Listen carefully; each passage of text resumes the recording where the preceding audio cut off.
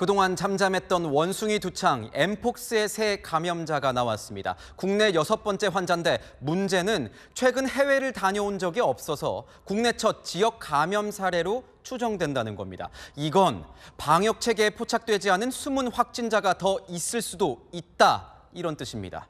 김담비 기자입니다. 피부 발진이 낫지 않는다며 A씨가 병원을 찾은 건 지난 3일.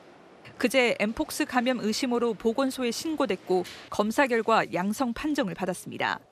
입원 치료를 받고 있는데 상태는 양호한 것으로 전해졌습니다. 국내 여섯 번째 환자입니다. 앞서 환자들과 달리 A씨는 최근 석 달간 해외에 나간 적이 없습니다.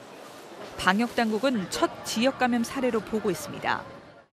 지난달 말부터 증상이 있던 것으로 알려져 접촉자가 있을 가능성도 있습니다. 방역 체계에 포착 안 된 숨은 확진자가 있다는 우려도 나옵니다. 아프리카 풍토병인 엠폭스는 발진이나 발열, 두통 등 증상이 나타납니다. 유럽과 북미에서 환자가 급증해 세계 보건기구는 지난해 7월 공중보건 비상사태를 선언했습니다. 국내에선 지난해 11월 이후 환자가 없었는데 지난달과 이달 연이어 발생했습니다.